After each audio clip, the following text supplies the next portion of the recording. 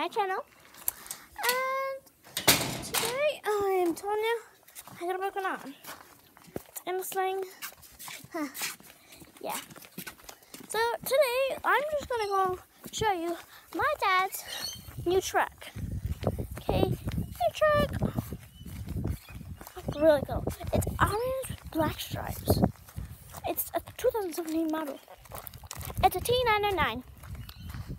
Simpler 999. I'll show you it now. I also gotta take pics of it, so I've been in it. I've been driving in it for four hours now. um, yeah. Gonna take pics from the front, back, and the side. Not from the back, but from the side, from angle from the front and the side. Okay? So let's show you this. Flip this around. Sorry guys, trying to find the